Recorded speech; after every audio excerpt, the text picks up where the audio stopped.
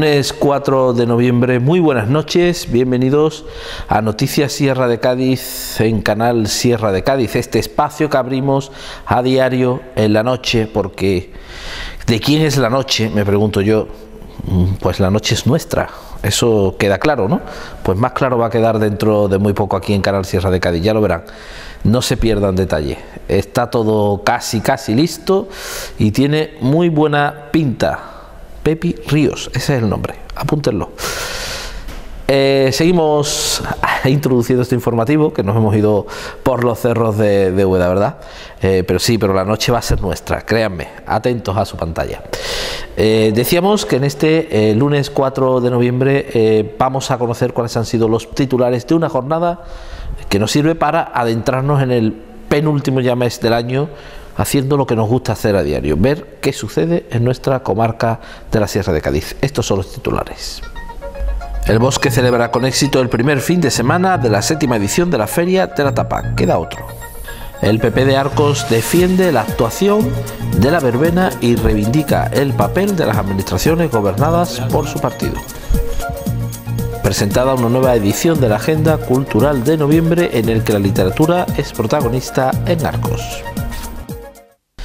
La localidad del Bosque ha celebrado este fin de semana con mucho éxito, sobre todo aprovechando el puente la séptima edición de la Feria de la Tapa, un evento que seguirá el próximo fin de semana en este municipio. Bodegas Barbadillo se ha involucrado de nuevo también en esta, eh, esta celebración gastronómica. Pedro Salas, responsable, uno de los responsables de la bodega, nos hablaba así del apoyo a este tipo de eventos. Hablaba con nuestro compañero eh, Juan Manuel López. Como de costumbre, patrocinando e interesado por todas las cosas que pasen en la Sierra de Cádiz. Eh, hemos llegado a un acuerdo con la, la Asociación de Hosteleros y ahí estamos, con nuestros vinos. La verdad que Barbadillo, la ruta gastronómica ya por toda la sierra. Bueno, sí, en ruta gastronómica, ahora estamos, estamos ya en conversaciones con Antonio Orozco para eh, los del Che de la Sierra, concretamente el martes que viene tengo en la bodega, voy a coger a todos los participantes, de, a todos los cocineros del año pasado y ya nos sentaremos a organizar la de este año. Un concurso, de verdad, Che Sierra de Cádiz que, va cada, cada, año más, ¿no? Sí, la verdad es que sí, la verdad es que esta fue una buena idea por parte de Antonio Orozco y a raíz de ver cómo funcionaba la primera edición, Barbadillo ha puesto bastante fuerte y este año pues ya estamos en el tema.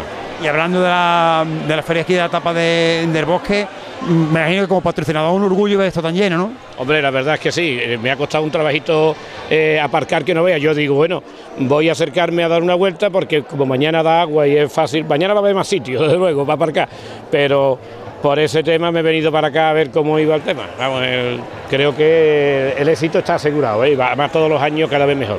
¿Y Barbadillo implica con, por, lo menos contra la sierra? Sí, bueno, ya tengo en mente, estamos poniéndole fecha. Acabo de hablar, tú has visto con la alcaldesa, para ponerle fecha ya a, lo que es la ruta, que se hace directamente en cada uno de los bares, de los negocios, y veremos también la de la de Ubrique, la de Arco y bueno, las seis o siete que tengo proyectado este año meter una, una nueva en acción, que es la de algodonales, y bueno, a ver así hasta que el cuerpo aguante. Y la alcaldesa hablaba así durante la inauguración de esa ruta, de esa feria de la tapa, no ruta de la tapa, que posteriormente pues se desarrolló con muchísimo más éxito que el que estaba teniendo incluso en esa inauguración que ya era eh, pues impresionante como estaba el bosque. Estamos inaugurando hoy la, séptima Feria de la Tapa que se desarrollará a lo largo de este puente y del fin de semana siguiente. Una Feria de la Tapa que, como ven, necesita poquito para, tener éxito, pero bueno, detrás de, todo esto que veis montado ahora, pues hay un enorme trabajo desde el Ayuntamiento, desde la Asociación de Hosteleros también. Al final conseguimos que, estén presentes 10 establecimientos del pueblo, uno de, de Benamahoma como novedad está aquí pues, como por, realizar un, acto de hermanamiento entre dos pueblos que estamos en continuo, continua colaboración, continua convivencia. Y bueno, como, como te decía, se desarrollará a lo largo de este puente el fin de semana siguiente además de tapas a tapas a 2,50 euros, pues tendremos también eventos musicales y demás para, poder celebrar todo en torno a, a nuestra gastronomía. Venimos Venimos viendo las últimas semanas cómo tenemos entre nuestros quesos los mejores del mundo, tenemos unas chacinas, unas carnes que son increíble o los molletes que están llegando a todas las partes de nuestra de nuestra de la geografía de España así que, qué mejor momento que este para, juntarnos a, a celebrarlo y a probarlo. Y recuerda a la regidora que en este noviembre también habrá espacio para la recreación histórica, un evento de los más importantes ya del panorama lúdico festivo de la localidad y de la sierra. Eh, el mes de noviembre es uno de los meses más, activos, más intensos en, nuestro pueblo. La recreación histórica es quizás uno de los eventos más fuertes, más potentes de nuestro, de nuestro calendario festivo y cultural y estamos de pleno metidos inmersos en toda la organización y demás para dentro de dos fines de semana celebrar la décima recreación histórica ya.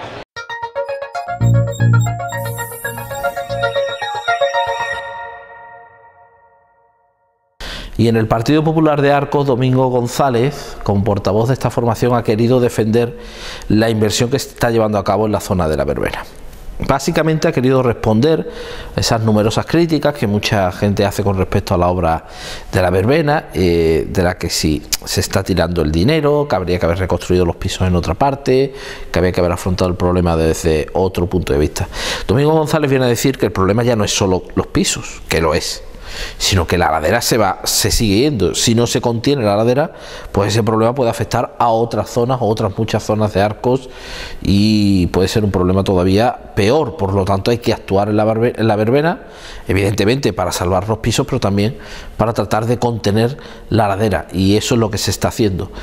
Además, ha defendido el papel de su formación del Partido Popular, dice que llegó un millón y medio de euros para esta fase de un ministerio cuando gobernaba el Partido Popular y dice que ahora llega otro millón y medio de euros de la Junta de Andalucía y en el momento en el que llega también gobierna el Partido Popular. Lo escuchamos.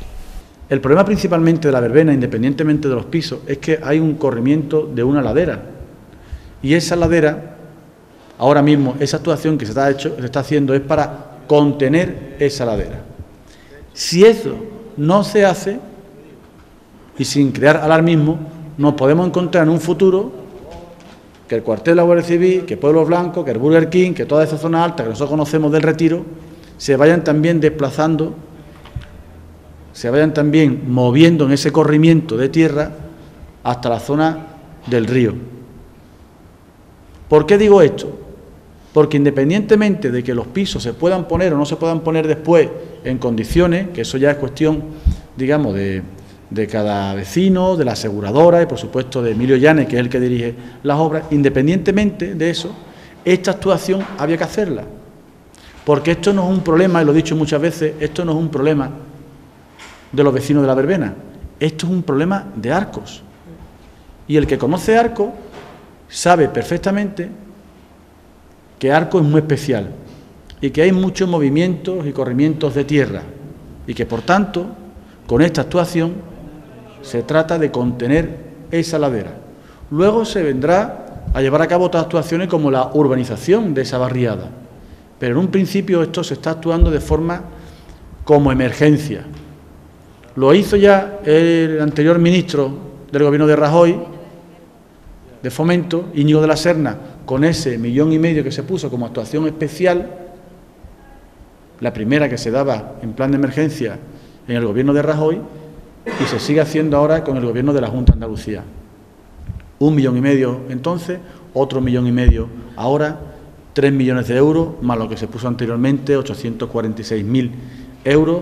Estamos hablando de un montante de casi 3.800.000 euros de la gestión del gobierno del Partido Popular. Y con respecto a la política local, Domingo González dice que hay un descontrol total en el ayuntamiento en cuanto a la organización de plenos y en cuanto a la transparencia democrática en los mismos, porque no se cumple como se tiene que cumplir con las, eh, la información que se le tiene que pasar a la oposición y demás a la hora de elaborar esos plenos. Lo escuchamos. El descontrol es tan grande que los plenos se convocan, se desconvocan, las comisiones informativas se desconvocan, se convocan, cuando le apetece al equipo de gobierno. Y hay una cosa que se llama reglamento de organización y funcionamiento, que marca las directrices de organización y funcionamiento, como propiamente lo dice su palabra, y que recoge una serie de normas.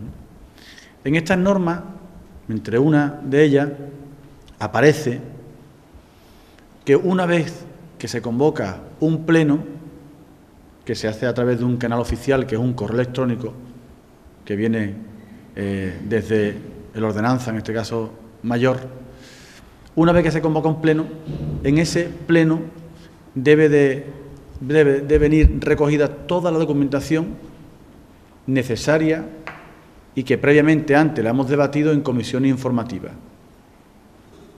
¿Qué quiere decir esto? Que en el momento en que a nosotros, los concejales, nos mandan la convocatoria de pleno, anexo a este correo electrónico viene toda la documentación de todos los puntos que nosotros vamos a tratar. Pues esto no ocurre. Lo digo porque aquellos que se jactan del buen gobierno, de la transparencia y de que el ayuntamiento ahora es cuando realmente funciona bien, lejos de eso, funciona peor que nunca. Y en el PP Juan y Morales ha defendido que se discrimina a las barriadas rurales, dice, porque todas las actividades se centran en el núcleo urbano, también en algunas eh, pedanías como Gédula, pero que a las barriadas se les tiene olvidadas. Eh, se están haciendo talleres en las delegaciones de Mayor y en la delegación de deporte, eh, en Arco de la Frontera y en Gédula en concreto, y en las barriadas rurales no la están teniendo. Entonces, las barriadas rurales están discriminadas. Nosotros queremos denunciar este procedimiento que está teniendo el equipo de gobierno con las barriadas rurales. Me refiero a que en el centro de Díaz San Miguel, en la barriada de La Paz, en el barrio Bajo, en la Asociación de las Canteras y en Gédula, se están dando una gimnasia de mantenimiento y un taller de baile gratuito. En las barriadas rurales, ninguno. Tienen el mismo derecho unos que otros. Los mismos vecinos son los de Arco que los de las barriadas. E incluso me atrevería a decir que son personas que al estar un poco más lejos tienen menos oportunidades de ocio.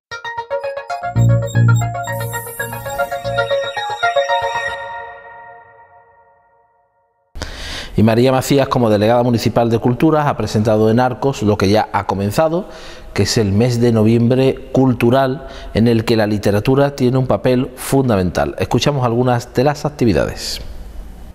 Como no podía ser de otro modo, pues la, literatura es la protagonista principal de este mes para la delegación. Empezamos el noviembre literario con, el descubrimiento de la placa de Diego Ximénez de Ayllón eh, este, este, hombre era un poeta renacentista español del siglo XVI que nació en Arcos.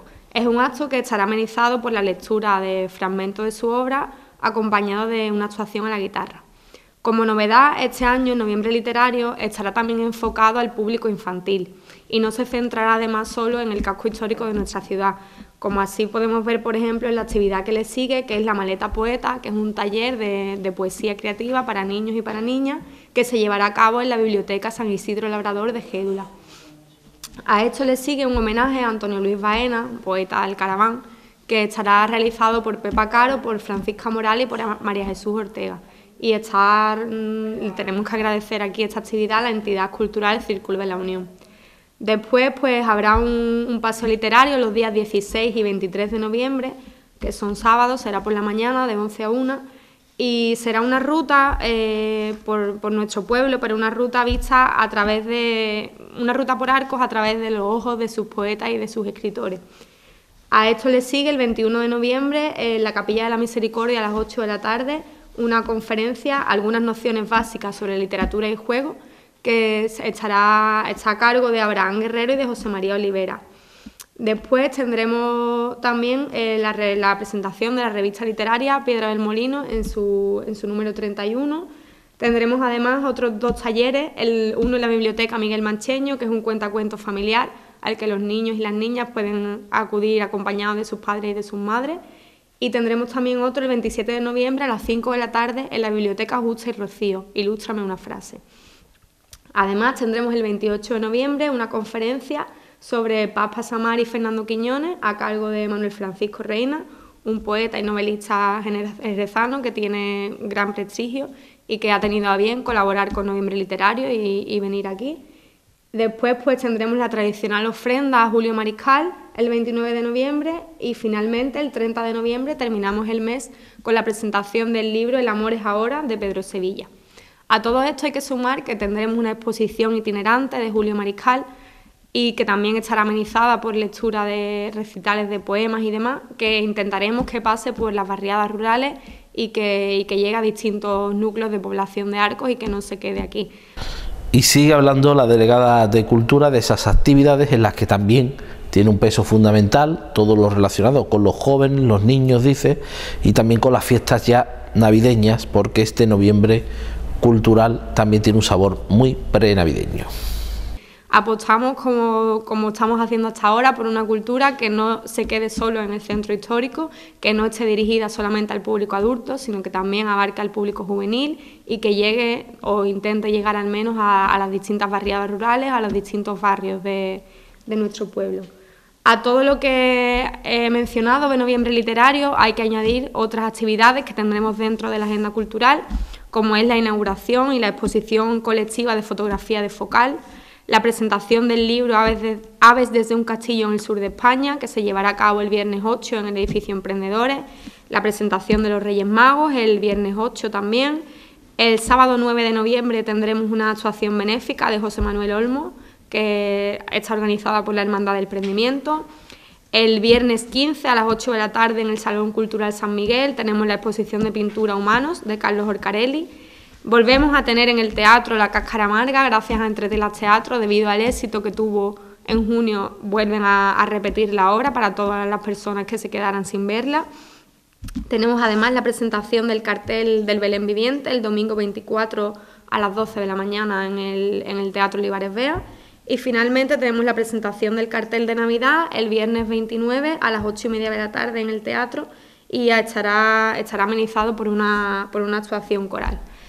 Eh, bueno, no puedo terminar sin agradecer a la Diputación de Cádiz su compromiso y su colaboración con el Noviembre Literario, por supuesto a Focal y Entre Telas, que siempre, y a la entidad cultural Círculo de la Unión, que siempre que los necesitamos están ahí y que forman parte de la cultura de Arcos de una forma muy proactiva. Tengo que agradecer también al Ateneo Literario de Puerto Real, que nos haya cedido y nos haya prestado la exposición sobre Julio Mariscal. Y bueno, a Abraham, a José María, a Pedro, a Manuel Francisco, a, todas las personas que colaboran con la Delegación de Cultura y que en definitiva lo que hacen es engrandecer nuestra cultura y apostar siempre por ella.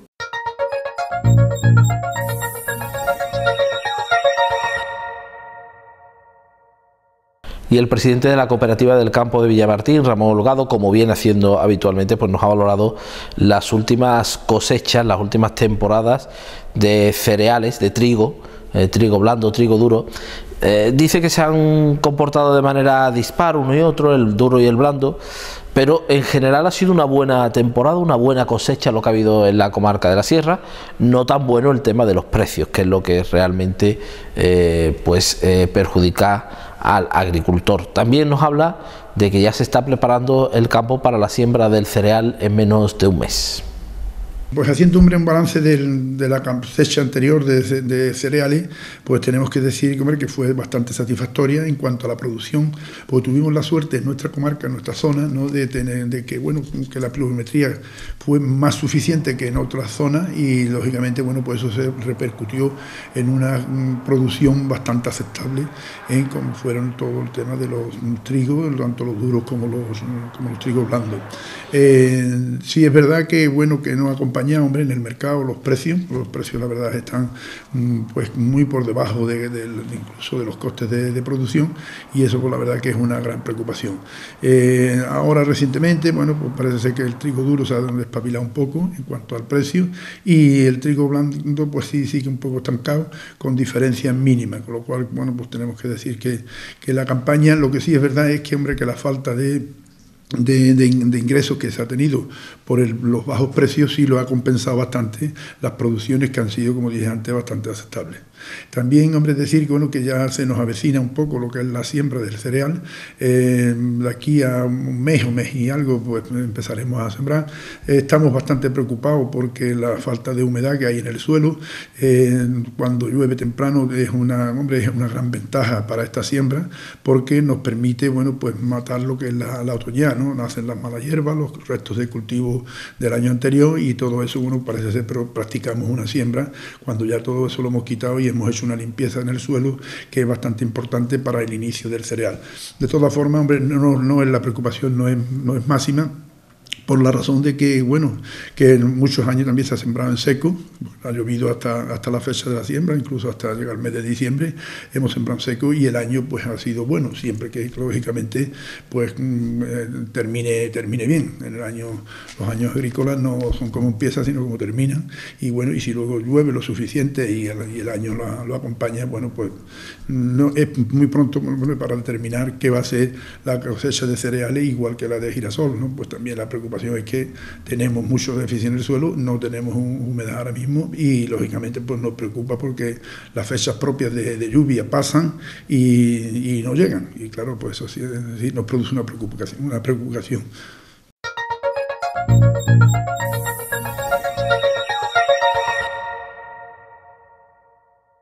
Y es habitual que la celebración del Día de los Difuntos que acabamos de pasar, pues en algunos cementerios se hacen eh, homenajes en las fosas comunes a los represaliados de la guerra civil y la posguerra. La Asociación de Memoria Histórica de Andalucía ha organizado un evento de este tipo en Villamartín. Hemos estado allí hablando con ellos. José María Gutiérrez de dicha asociación defendía la importancia de eh, seguir luchando, seguir trabajando porque se exhumen las fosas comunes como por ejemplo la que hay en el cementerio de Villamartín. Lo escuchamos. La idea es que sea un proceso en el que las fosas o las fosas con represaliados de la guerra civil que existen en el cementerio de Villamartín se sumen y se identifiquen a las personas que están enterradas irregularmente. Es un, es una deuda que tenemos con la historia, pero también con la justicia. Y Antonio Pavón, secretario general de la UGT en la provincia de Cádiz, también defendía ese papel, ese papel a la hora de recuperar eh, los restos mortales que hay en esas fosas comunes. Dice que hay muchos, que seguro que hay muchos sujetistas enterrados en dichas fosas y que hay que luchar por ello. Y nos sumamos hoy al día, a la convocatoria que ha hecho la Asociación de, Recuperación de Memoria Histórica, porque son muchos los ujetistas y ujetistas y todos aquellos que, que lucharon en aquel, desde el año 36 por esa represión que hubo con la guerra civil y posterior. Son muchos los compañeros y compañeras que están todavía en fosa eh, sin poder sacar siquiera saber sus nombres y, poder recuperar esos restos que para su familia será importante. Y hoy hacemos un gesto simbólico aquí en Villamartín Queremos hacer una ofrenda floral con 13 rosas, que ya sabéis la simbología que tiene, pero con ellas queremos simbolizar no solo a las mujeres que murieron y fueron asesinadas, sino a todos aquellos hombres y mujeres que lucharon por las libertades, por recuperar la, democracia, la, capacidad de poder decidir y, que el único delito fue pertenecer a una organización política o sindical o simplemente tener una idea de, progreso y, de, y de, de libertad. Diego López también estuvo presente representando al PSOE de Villamartín y hablaba así también de la necesidad de seguir en la lucha y seguir reivindicando el papel de la eh, memoria histórica en una sociedad actual, dice, en la que se está poniendo en peligro desde las instituciones y bueno, desde el PSOE de Villamartín, como no, pues impulsar eh, esa ley de memoria histórica que esta derecha que tenemos en Andalucía pues está intentando frenar. Creo que hemos, estamos en un, en un momento, en una campaña electoral muy decisiva para, el futuro de nuestro país, no solamente en las cuestiones económicas y en las cuestiones de la gestión, que eso en definitiva es algo del día a día, sino que también tenemos la oportunidad de poder reparar la memoria de todas estas personas que fueron represaliadas en una guerra y en una dictadura eh, que fue genocida para todo aquel que no pensaba como ellos pensaban Entonces creemos que hoy es un día que no solamente tenemos que honrar a los muertos de nuestra familia, sino a todos los muertos que están en esas fosas comunes, en esas cunetas, y que, y que debemos, los que estamos hoy en día y los que defendemos esta democracia española, entendemos que consolidada, pues, pues dar eh, ese impulso que es necesario. Yo creo que las fuerzas de izquierda, en ese sentido, pues nos hemos unido siempre para intentar que esto sea así. Yo creo que eh, actos como los de hoy eh, mm, identifican claramente cuál es eh, la motivación que tenemos cada uno con respecto a, este tema de la ley de la memoria histórica. Eh, y bueno, pues simplemente eso, que hoy es un día de homenaje, es un día de, rendición de cuentas a, aquellos que asesinaron por ideología y, nada, simplemente eso, que, que nos unamos todos, que siempre estemos unidos en este, en este tipo de cuestiones porque es importante ahorrar la memoria de aquellos que fueron represaliados simplemente por pensar diferente. Y Fernando Lago ha querido agradecer todo el apoyo con esta conmemoración en la localidad de Villamartín, recordando a las víctimas del franquismo y del postfranquismo, eh, sobre todo recordando que ya el año pasado eran tres las personas exactamente que hicieron este homenaje y que este año esto ha crecido mucho y se ha llegado a desbordar, asegura. Esto comenzó como una iniciativa ciudadana el año pasado, eh, a la que asistimos simplemente tres particulares que, bueno, las previsiones nos han desbordado este año. Eh, agradecer a todos los, grupos políticos, sindicales, civiles, a, Ana que ha tenido a bien acercarse por aquí, por Villamartín. Y bueno, a mí me queda poco que añadir después de lo que han dicho las demás personas, que evidentemente este es un acto de justicia, jamás de venganza. Lo que queremos es justicia con la gente desaparecida, asesinada y arrojada a fosas comunes en toda Andalucía y nosotros vamos a empezar por Villamartín, pero la lucha va a continuar y va a continuar a través del tiempo hasta que logramos restaurar la memoria de todas esas personas.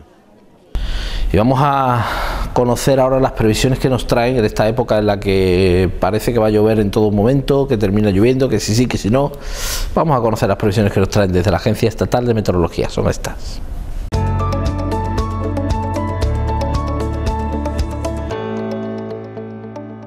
Hola, ¿qué tal? Este martes se mantiene la inestabilidad en gran parte del país, con fuerte viento y lluvia y también con descenso térmico casi generalizado, como podemos observar en el mapa de variación de temperaturas máximas de color azulado en casi toda la península, también en las Baleares e incluso de color morado, tanto en Aragón y Cataluña, donde los valores diurnos bajarán de forma más significativa. De cara a las próximas horas podemos observar cómo entrará un nuevo frente, lo hará por el extremo norte peninsular y nos dejará toda esa lluvia, ese fuerte viento de cara a las próximas horas. El martes por la mañana la mayor inestabilidad como decimos, en el extremo norte, en el tercio norte peninsular, amaneceremos con cielos cubiertos, con lluvias persistentes, tanto en Galicia, también en la zona del Cantábrico, que podrían ser en forma de nieve, incluso en la zona de los Pirineos, en torno a los 1.600 metros, 1.400 en la cordillera Cantábrica y 1.800 en el sistema central. Las precipitaciones serán eh, más ocasionales, chubascos ocasionales, en este caso en otros puntos eh, de la península, tanto en Castilla y León, en el norte de Extremadura, en Castilla-La Mancha, en el interior de Andalucía y en el área del Estrecho. Nos seguiremos fijando en los vientos de componente oeste, en este caso, que seguirán soplando con fuerza,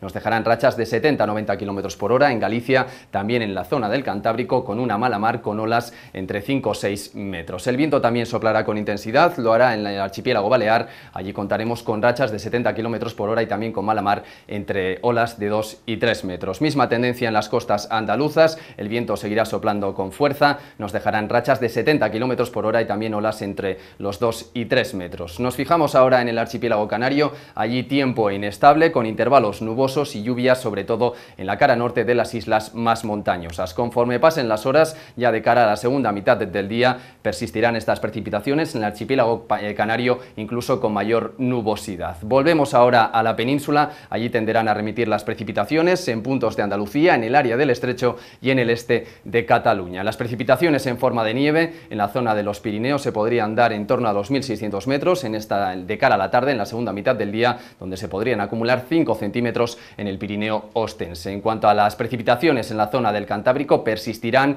irán a, más, sobre todo debido al viento de origen marítimo, tanto en eh, Guipúzcoa como en el norte de Navarra, se podrían acumular 50 litros por metro cuadrado en 12 horas. Terminamos con las temperaturas, descenso térmico casi generalizado, descienden eh, sobre todo de forma significativa en el noreste, tanto en Aragón y en Cataluña, sin superar los 13 grados, por ejemplo, en Teruel, 19 en Zaragoza, Zaragoza, 14 en Huesca, 11 en Viella, 18 en Girona y 19 en Barcelona. También descienden en la zona centro, no superaremos por ejemplo los 14 grados en Madrid, 13 en Cuenca, 15 en Albacete, valores más elevados en la zona sur con 23 grados por ejemplo en Huelva, 22 en Málaga, los mismos que en Almería. Esto es todo por nuestra parte, como siempre si quieren más información consulten en nuestra página web.